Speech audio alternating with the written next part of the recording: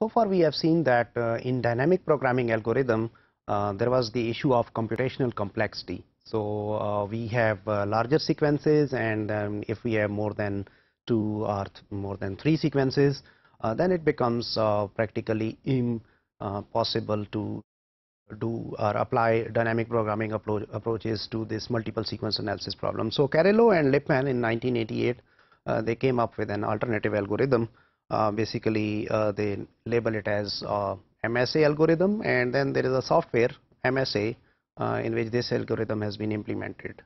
Uh, it's a heuristic algorithm. remember guys in heuristic algorithms as we have talked earlier you can get the quick solutions that may not be the exact or the most optimal solutions but you can have your your the purpose of your work is served more or less. So this uh, algorithm was presented uh, in order to reduce the search space in dynamic programming and uh, as we discussed it's implemented in MSA program. It assumes that the score of multiple sequence alignment is the sum of the scores uh, of all pairwise alignment. So there is uh, a sum of pair or SP method uh, that has been implemented in this algorithm. So let's go and uh, try to understand the sum of pair method with this example. Uh, for example, we have four sequences. Uh, these are uh, amino acid sequences.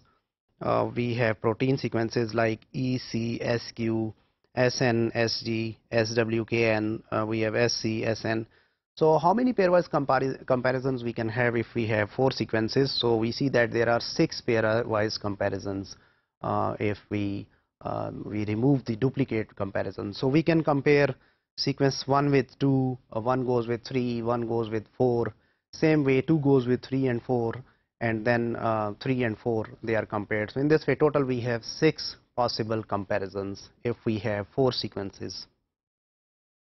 So here is how this sum of pair method has been implemented. So we uh, do pairwise comparisons. So we, we take for example first comparison uh, where have 1 to 2 sequence 1 and 2 they are aligned with one another. So on sequence 1 uh, we have E and that is matched with S. So that is actually a mismatch so we get a score of 0. Uh, remember here guys we are actually consulting those substitution matrices so these scores are coming from those matrices actually so E substituted by S we get a 0 and then we have this C and N in, in the next column or the next position. So when we are doing this multiple sequence alignment, uh, we take each position as a column. So in the second column, we have a mismatch again and the score is minus 4 and then we have SS, there is a match, so we get a plus 2. So plus scores are scores are high if we get the matches and for the mismatches we need to consult the matrix and then QG uh, we get a minus 1 same way we do that for 1 and 3 and 1 and 4 and rest of them.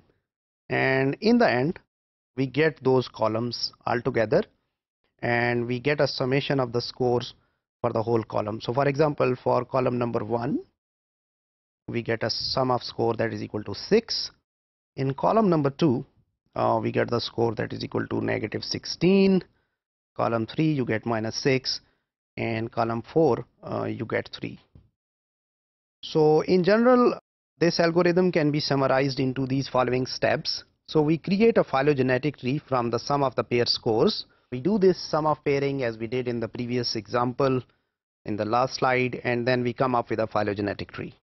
Then we produce a draft alignment built incrementally from the tree. So we do this sum of pair scoring and then we make up a tree and then from the tree we get again draft multiple sequence alignment and the pairwise alignments and the draft MSA then circumscribe a solution space within which we can do uh, or embed or implement a dynamic programming search. Uh, here is the page of this software MSA.